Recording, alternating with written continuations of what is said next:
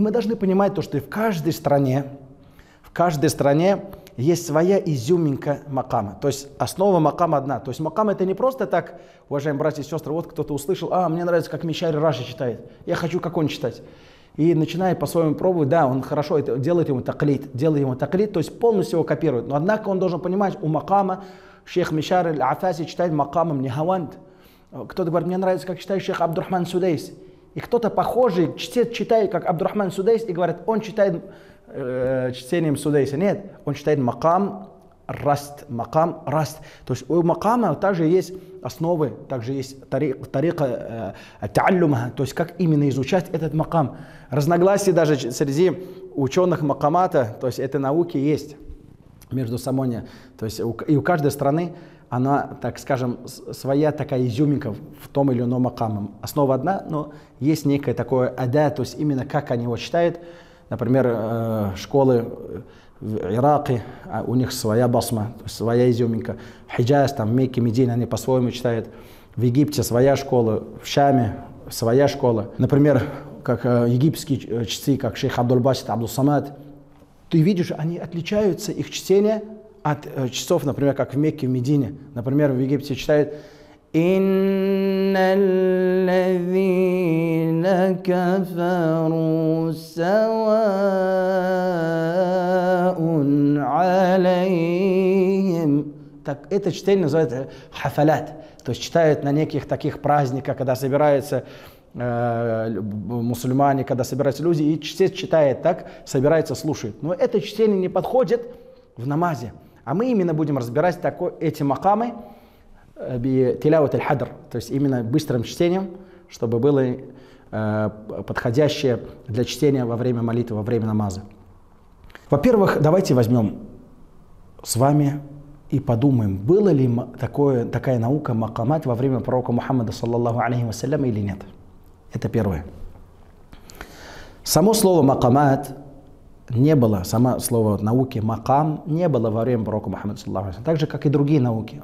Таджвид, э, фикх, мусталях аль-хадис, усуль фикх. Не было этого, был Коран и Сунна. Но потом со временем ученые э, дали название наукам фикх, это что, фахм, это понимание, понимание э, религии, там э, мусталях аль-хадис, она отвечает за цепочку передатчиков хадиса, усуль фикх, правила фикха, таджвид, то, что вы брали э, именно правил, э, правила чтения священного Корана. Также макам. Не было названия, но однако, однако эта наука существовала во время пророка Мухаммада, саллаху алейхи. Далиль на это то, что пророк Мухаммад, саллаху алейхи вассалям, сказал, «Лейса минна ман лам ятаганна бил Коран». Не из нас тот, кто на распев не читает, то, не из нас тот, кто не читает Коран на распев, сказал посланник Аллаха, саллаху алейхи вассалям. И был такой, была такая кабиля, такой клан Аль-Аш'ариюн. Аль-Аш'ариюн из этого клана Абу Муса Аль-Аш'ари.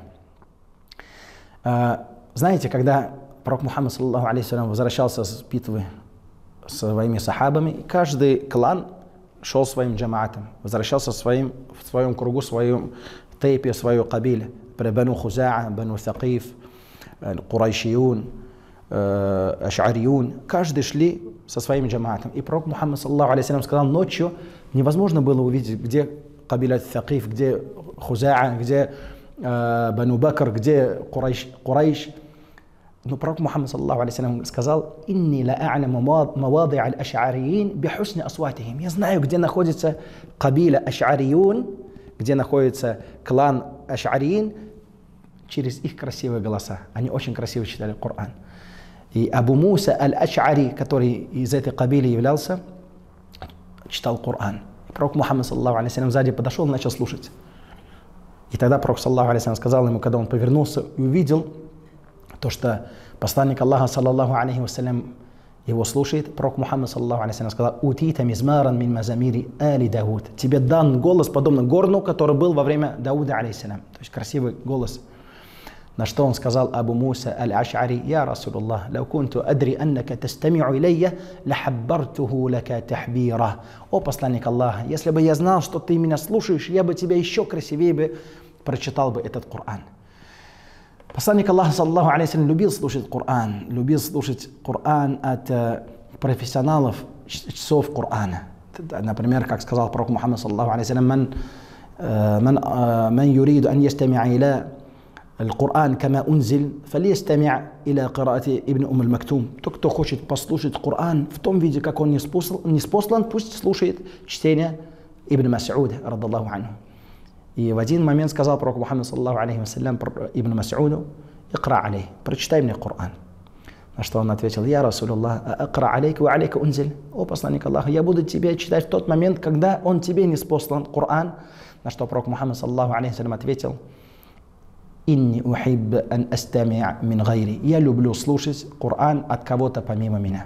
И прочитал сура Ан-Ниса, дошел до аята, где Всевышний Субхану Ва Та'аля сказал, فكيف إذا جئنا من كل أمة بشهيد وجئنا بك على هؤلاء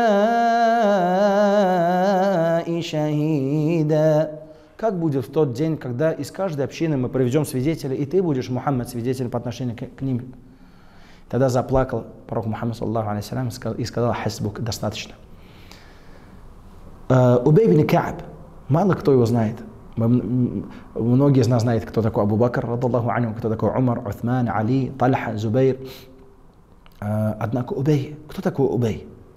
Пророк Мухаммад, саллаху алейхи сказал сахабам всем и сказал, инна акраакум убей. Наилучший чтец Корана из вас убей. И подошел пророк Мухаммад, саллаллаху алейхи вассалям, к Убей ибн Каабу и сказал, я, Убей, «Инна Аллаха амарани ан акра алейка сурат аль-байина». «О, Убей, поистине Аллах Субхану Ва Та'аля мне приказал тебе прочитать сурат аль-байина, чтобы ты меня проверил». И тогда Убей, радаллаху анху, спросил, «Я, Расул Аллах, ассаммани лак?» «О, посланник Аллаха, а Аллах Субхану Ва упомянул мое имя тебе. То есть среди ангелов Аллах Субхану Ва сказал «Убей». То есть обратите внимание, Аллах Субхану Ва не назвал Абу Бакра, ни Умара, ни Уthмана. Убей. Почему? Потому что он был лучшим чтом Корана. Поэтому пророк Мухаммад, саллаху алейхи сказал, «Э, через эту книгу, через Коран, ярфа Аллаху акуан, ва ахарин. Аллах поднимает народы, а другие опускает. Убей ибн Кааб. На что пророк Мухаммад, саллаху алейхи сказал, «Наам, да, да, я Убей. Аллах твое имя назвал среди ангелов. Наш фанфаджара букаан. И он сильно разрыдался, расплакался от радости. Поэтому, уважаемые братья и сестры, эти уроки по макаматам, это как хидма ли китаби Аллахи Азza. Это мы слуги Аллаха Субхану Ва мы его рабы. И это некая такая, такой, э, э, так скажем, то, что поможет нам в изучении Корана, то, чтобы Коран приблизить к нашим сердцам. Ведь сказал пророк Мухаммад, саллаллаху алейхи вассалям, «Ман ахабба калам Аллах, ахаббаху Аллах». Тот, кто полюбил слова Аллаха, Аллах Субхану Ва его полюбит. А чтобы еще более полюбить слова Аллаха, более полюбить Коран, мы должны его читать на распев красиво. Мы его должны читать на распев красиво. И даже на сегодняшний день есть такая наука тафсир аль-Кур'ан бин макам, когда делается тафсир, пояснение, разъяснение Корану голосом. Я вам приведу пример. Например, э, проповедник э, проводит худбу и говорит о рае. Как он будет говорить? Каким голосом? Какой интонацией? Грустно или с радостью? Конечно, с радостью. Ваши братья, сестры, о верующие, Аллах Субхану есть рай. Аллах уготовил рай для богобоязненных, для тех, кто поклоняется Аллаху. Спешите туда. Не будешь он говорить, Аллах есть рай, нужно попасть в рай. Нет, он будет с радостью говорить. Также об аде, о наказании. Он будет остерегать с интонацией, дабы э, люди остерегались наказания Аллаха Субхану с грустью. У Аллаха есть ад. Аллах наказывает. Аллах Субхану серьезность, Аллах Субхану наказывает. Бойтесь Аллаха. Тоже так же в Коране. Когда мы читаем Коран, мы должны его читать с интонацией. И вот эти макаматы, которые собрали ученые, они помогают нам правильно читать Коран, дабы этот Коран заходил в наши сердца. Ведь Аллах Субхану Ва Та'аля сказал в Коране, «Афаля ятадаббаруна al-Qur'an, ам аля кулубин акфалуха». Неужто люди не размышляют над Кораном или на их сердцах замки? В другом аяте Субхану Ва Та'аля сказал, أفلا يتدبرون القرآن ولو كان من عند غير الله لوجدوا فيه اختلافا كثيرا Неужто они не размышляют над Кораном? Если бы Коран был бы от кого-то, помимо Аллаха, то бы люди нашли бы в нем много противоречий.